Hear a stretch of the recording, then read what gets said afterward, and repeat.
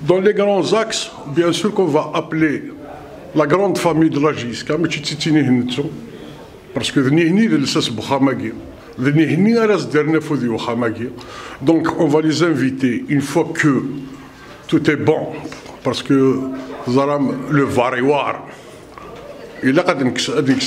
c'est-à-dire on lève la tête de l'eau.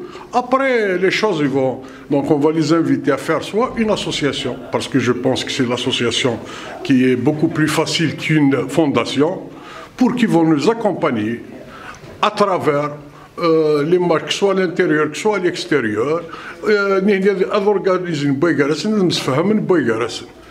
Et la même chose pour les supporters. On va appeler tous les villages, toutes les communes, tous, les quartiers, toutes les villes, là où il y a, des supporters de la JISCA, ils vont, dégager deux, trois personnes dans chaque région, dans chaque patelin, dans chaque village. On va s'organiser, on va travailler d'une manière professionnelle.